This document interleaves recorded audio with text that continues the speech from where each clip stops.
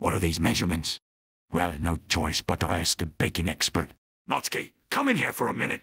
I've been summoned. I am here. Can you decipher this? Give me that crap. Can you not freaking read? It says a smidgen. What is this? It's a smidgen.